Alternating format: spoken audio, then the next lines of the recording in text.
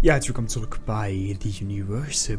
Mein Name ist Silex und äh, wir haben in der letzten Folge ein bisschen die Grundlagen für unsere Zivilisation gelegt, die jetzt so aussieht.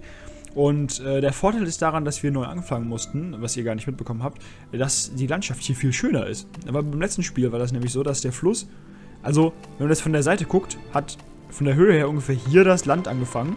Also da war so ein Huckel und dann ging da das Land lang zum Wasser und das sah echt kacke aus. Aber es war halt die beste Position, die man hätte haben können in dieser Map. Ähm, ja gut. So, und wir assignen jetzt mal einen Engineer. Und wie gesagt, das macht Sinn, da jemanden zu nehmen, der schon adult ist. Das heißt, vielleicht wird er ja unser Ingenieur. Ne, das ist Edu. Edu ist die Frau von Adahi, das weiß ich. Vielleicht wird er ja unser Ingenieur. Ist er das? Chuga. So. Chuga wird jetzt unser Ingenieur. Äh, der da. Der wird also dafür zuständig sein, quasi Gebäude zu bauen, wenn Materialien dafür da sind und Gebäude zu reparieren vor allen Dingen. Und wir haben jetzt auch die Farm erforscht. Wie man sich vorstellen kann, ist das recht wichtig. Oh Gott, ist das Ding groß. Weil Nahrung ist halt in der Regel wichtig. So, wir setzen die Farm mal hier unten hin irgendwie, weil dann kann da so ein Weg hin entstehen und ich glaube, das könnte ganz schön aussehen. So. So, dann wird jetzt auch die Farm gebaut. Als nächstes wird die Eatery erforscht. Die ist auch recht wichtig, weil damit bauen wir quasi... Ich habe es mal verglichen in der letzten Folge mit... Ähm, ja, es ist quasi die Kantine des Dorfes. Der Vergleich hinkt zwar vielleicht ein bisschen, aber im Kern ist er gar nicht so schlecht. Weil da arbeitet nämlich ein Koch. Oh Gott, wir haben schon 1,5% herausgesogen. Da arbeitet nämlich ein Koch. Und äh, dieser Koch ähm, ah, da wird eine Hütte gebaut. Dieser Koch kocht dann quasi die, äh, die Rohmaterialien des Dorfes und macht daraus bessere Materialien, äh, bessere Nahrung und die machen die Leute länger satt. Das ist gut, das wollen wir. Und schaut euch mal bitte an, wie schön dieses Haus hier aussieht mit diesem Flatterband. Und da ist unser Ingenieur und der ist jetzt dabei zu reparieren. Viel mehr macht er auch nicht den ganzen langen Tag. Bis natürlich das Lagerhaus fertig ist und wir da Ressourcen haben. Und der Winter naht beziehungsweise der Winter ist schon da. Problematisch ist, im Winter wird, friert der See zu. Das heißt, Fischen wird dann schwierig. Aber die Farm kann dann auch nicht mehr produzieren. Aber die, die, das Problem an der Fischerei ist, das ist halt nicht überragend nachhaltig.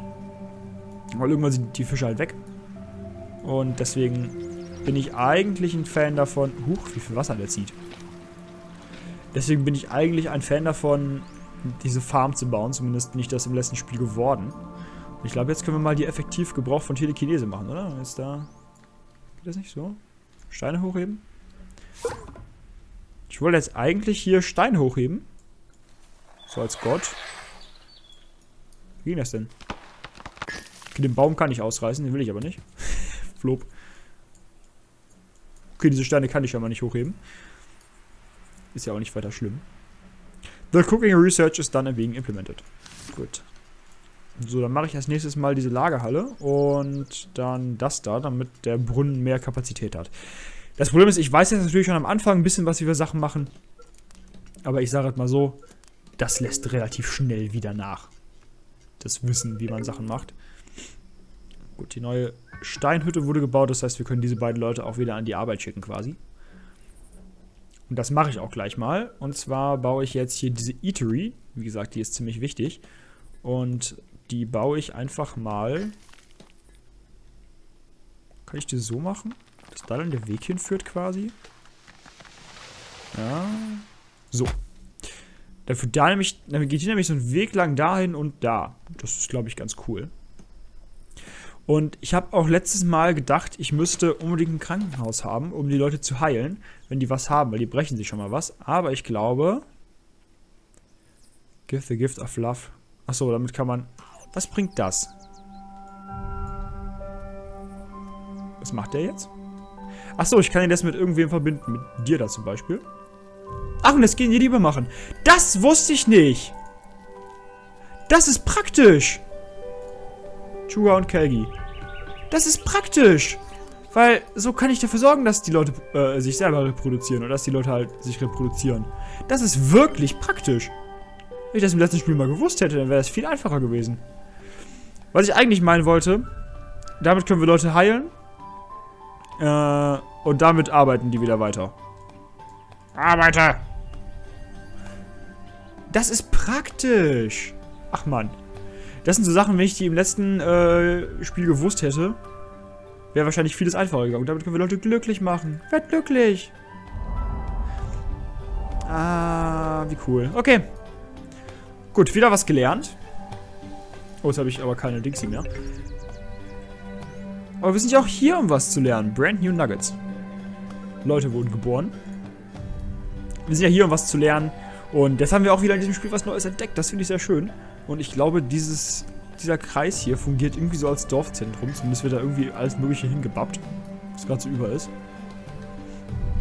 Ach, wie cool! Die Leute können sich auf unser Geheiß hin quasi reproduzieren. Das wusste ich nicht. Das ist cool. Wir haben quasi die Macht, Leute zum Sex zu überreden. Wenn ich das so formuliere, klingt das irgendwie ganz furchtbar falsch. und es ist Winter in unserem Dorf und... Huch! Chuga könnte... Äh, Chuga? Glücklich! Werd glücklich! Ich glaube, er ist glücklich. Ich weiß es nicht. Habe ich ihn glücklich gemacht?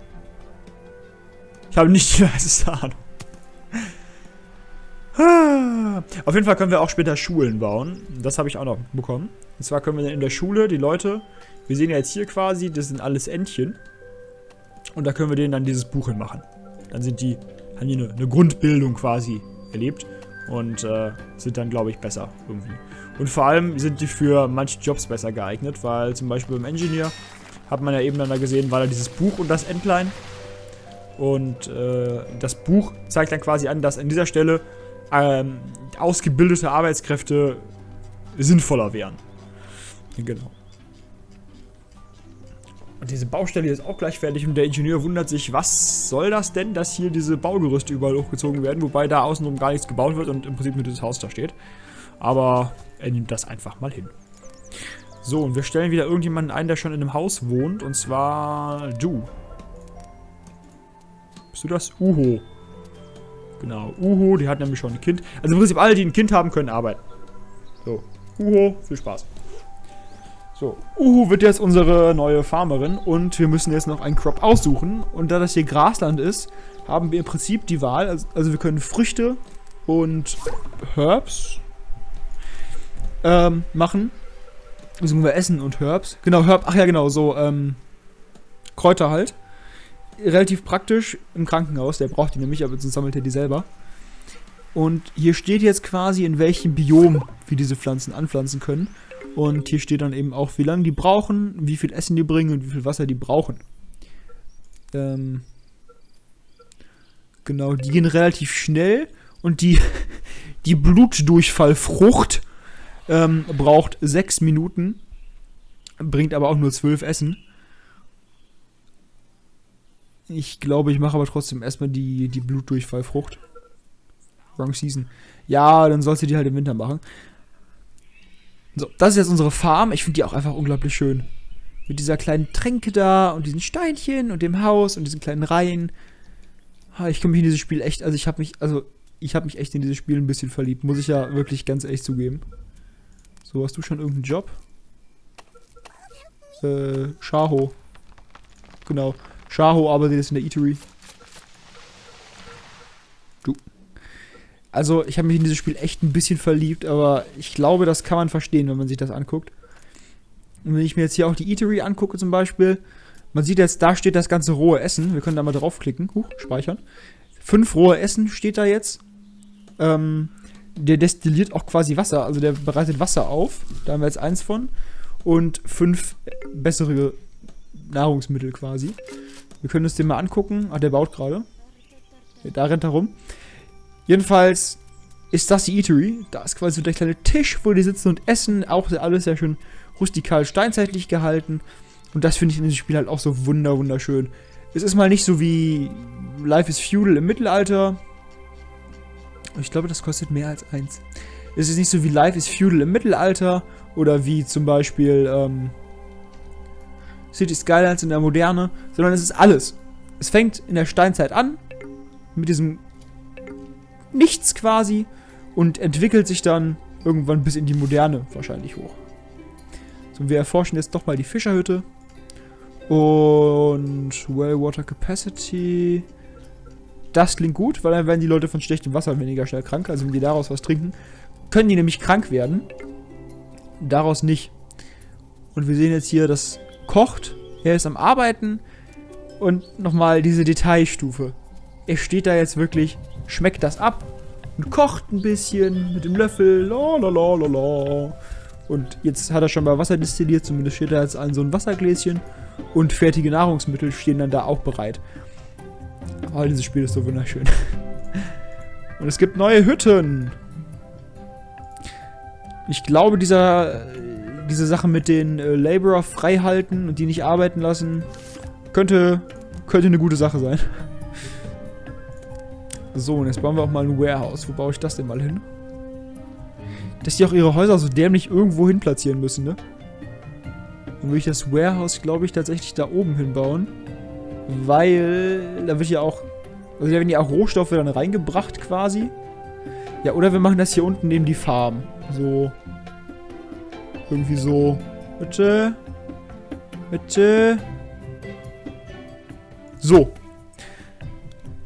Da kommt jetzt unser Lagerhaus hin. Und so sieht unser Dörfchen bisher aus. Und dann wird schon wieder eine neue Hütte gebaut. Also die Bevölkerung boomt. Und so sieht das hier aus alles. Und ich muss schon sagen, das sieht schon geil aus. Das sieht schon verdammt geil aus. Und ich glaube, wir werden mit diesem Spiel noch eine ganze fucking Menge Spaß haben. Zumindest ich auf jeden Fall. Wenn ihr dabei auch mit Spaß haben wollt, dann